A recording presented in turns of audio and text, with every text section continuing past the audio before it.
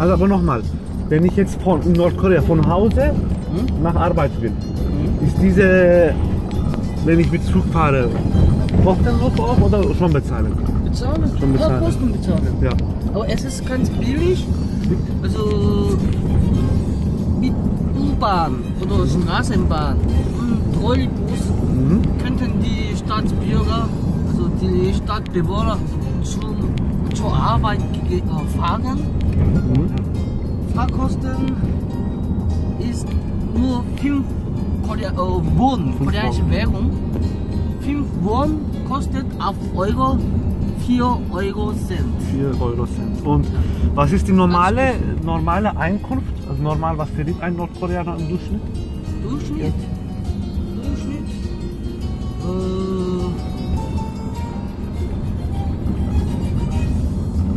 150 oder 200.000 Won. Okay. Also macht es auf Euro. Nein, nein, nein, Entschuldigung. Das ist Maximum auf Euro. Auf Euro ungefähr 200 oder zwischen 200 oder 300. 300 Euro. Aber keine Miete. Keine Miete. Da kommt so ungefähr. Wir kriegen zwar. Also äh, die Familie bezahlt zu Hause Betriebskosten, das heißt Strom, Wasser Mhm. und Heizungen in Winterzeit, Zentralheizung in Winterzeit. Ja. okay. Diese Betriebskosten äh, ist, äh, betragen, betrug, äh, beträgt ungefähr 5 oder 7 Prozent, äh, 7 Prozent von, von Monatsgehalt der Mhm. Familie. okay. Das Aber pro. Familie gerechnet. Ja, pro Familie. Familie. Eine große Familie hat natürlich großes Zimmer. Mhm. eine große Wohnung mit zwei oder drei, über drei oder vier Zimmern und kleine Familie, nur das Ehepaar zum Beispiel, Mhm. bekommt vom Staat ein oder zwei Zimmerwohnungen. Mhm. Und wie ist das jetzt, wenn ich Beispiel alleine wohne? Beispiel, ich bin alleine Beispiel. Alleinstehende, also Alleinstehende. der äh, unverheiratete Mhm. Erwachsene darf eigentlich keine Wohnung haben. Okay. Nach der Hochzeit hat das Ehepaar ein Recht, eine neue Wohnung zu bekommen. Und was ist jetzt, wenn ich. der Alleinstehende, das Single-Dasein, muss immer bei Eltern bleiben Oh. und leben. Ja, das ist unsere Kultur. Wie ist Sitte, wenn ich jetzt heirate, aber Ehefrau, ich habe geschieden oder Ehefrau ist tot, ich bin Witwe? Äh, Was ist dann? Das ist dann, Ich hab kann schon auch eine. äh, eine neue Frau finden. Aber geschieden ist bei uns nicht so populär. Okay. Na gut, aber Bei mein. der Hochzeit hat es das Ehepaar einander so versprochen, bis zum Kreis, also bis zur letzten Zeit, immer zusammen zu leben. Gibt's bei ja. uns auch. Gibt's Ja. auch diese. Ah, Und die gesellschaftliche Stimmung, also die Umgebung mh, von Leuten, von Eltern von beiden Seiten, sind immer so über diese Scheidung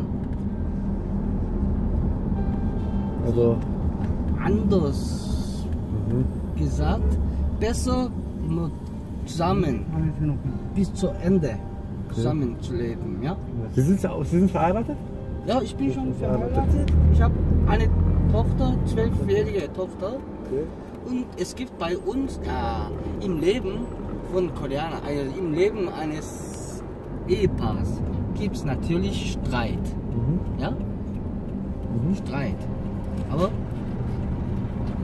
bei uns ist ein schönes Sprichwort, das heißt, Streit eines, ein Streit zwischen Mann und Frau ist gleich mit Messer das Wasser zu schneiden. Kannst du mit Messer das Wasser schneiden? Ich natürlich nicht. Man kann streiten, das ist Leben. Aber danach einander verstehen. Aber man muss ja, soll ich sagen, wenn du die richtige doch nicht war, wenn es doch nicht die richtige war, wie ist das dann? Wenn du deine? Frau doch, hast du ge- kennengelernt, ja, hast du Mhm. spazieren? selber, selber kennengelernt und auch so vor der Hochzeit bei der Verlobung oder vor der Verlobung auch mehrmals getroffen und einander erklärt und in sich verliebt. Und danach kommt zur Hochzeit aber wenn du nach fünf Jahren nicht der Meinung bist, immer noch, nach fünf Jahren. Beispiel jetzt mal jetzt, oder keine Ahnung, zehn Ah. Jahre. Du bist jetzt der Meinung, du brauchst was Neues. Ich habe schon mehrmals, also über zehn Jahre mit meiner Frau äh, gelebt, aber ich, es gab in zehn Jahren jährlich, jährlich zwei oder dreimal große Streit Okay. mit, mein, äh, mit meiner Frau, ja. Und ein oder zwei Tagen hatten beiden Seiten. Also habe ich meine Frau nicht, gar nicht gesagt. Meine Frau hatte auch so gemacht. Und in zwei Tagen gehen beide Seiten gehen ja. langsam mit großem Verständnis näher. Das ist Leben, so geht das Leben.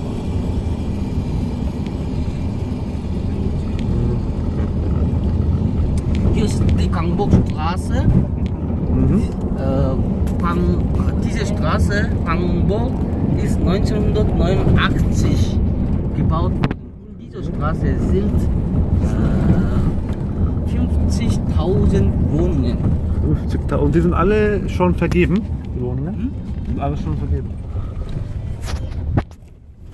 Und der Name Gangburg bedeutet Wiedergeburt.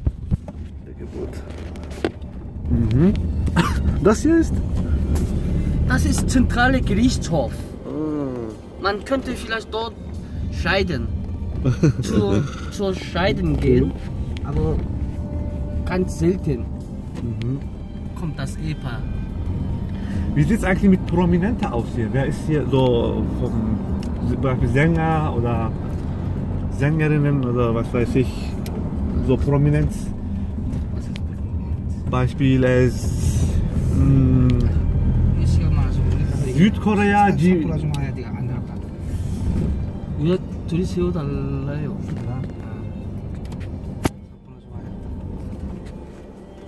좀 와야 돼. 안 나가. 이거 둘이 세워달라요. 참 저기다 저기 있고.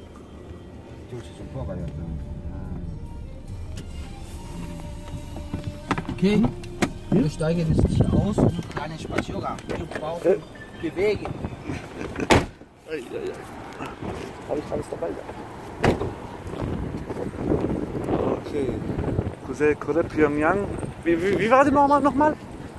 Die Name nochmal? Bangkok. Kwangbok, Kwangbok-Straße. Gut, Kwangbockstraße bin şey. ich jetzt. Für Yang Kwangbocks sokaktayım ya da caddedeyim. Das hier ist? Zirkus. Achso, das ist die Zirkus schon. Aha. Şimdi beni sirke getirdiler. Sirkte bakalım ne olacak. Boncume, Hancum diye bu Benim kayıtlarım Sayın V ve Bayan Lim. Gehen zu einem Laden, ja? Ja. Ah ja, dann kann ich noch Haargel kaufen vielleicht. Hm, Haargel gibt's. Weil meine Haare schauen Nicht, total... weiß es nicht. Okay. So, dann başka şuralara da bakalım.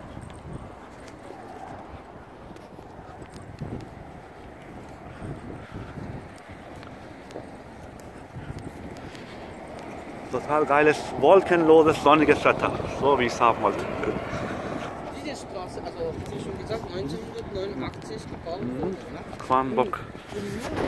1989 Mhm. fand in der Stadt Pyongyang drei- 13. Jugend-und-Studentenwild-Festival statt. Mhm. Anlässlich dieses Festivals haben wir diese Straße und sowie äh, eine große Sporthalle Dorf gebaut. Mhm. Das werden Sie später sehen. Okay. Damals kamen äh, mehr tausende Jugendliche und Studenten von über 70 Ländern. Me- Meisten davon sind Ost, ehemalige osteuropäische sozialistische Länder. Die gekommen und zehn Tage lang hatten sie natürlich kulturelle, politische und sportliche Veranstaltungen. Die hatten sogar in allen Wohnhäusern auf dieser Straße übernachtet. Oh. Ja. Und wie viel Zimmer hat jetzt so eine Wohnung beispielsweise? Wie viel Zimmer hat so eine Wohnung? Drei, Drei. Zimmer. Drei Zimmer. Drei Zimmer. Na, reicht ja. 90 oder 100 Quadratmeter. 90 Quadratmeter. Ja, was? Küche, also drei Zimmer mit Küche Küche. und Wäscheraum. Raum.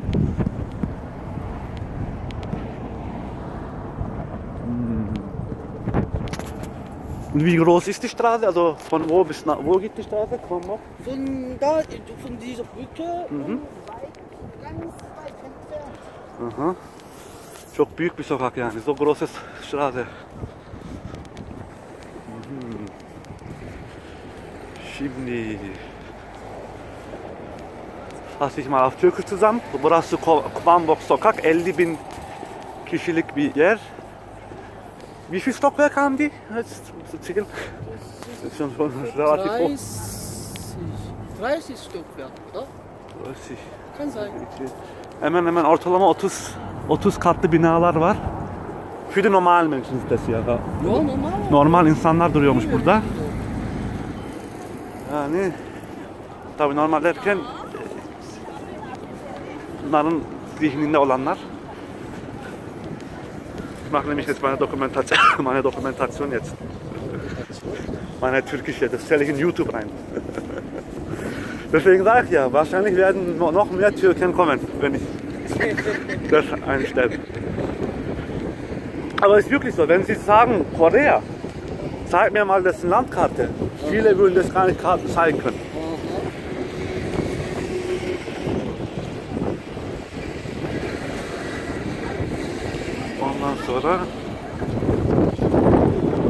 Koreli insanlar.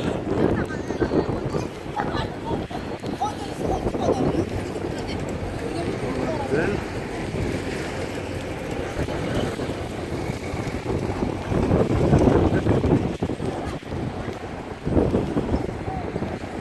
Wo viele Autos.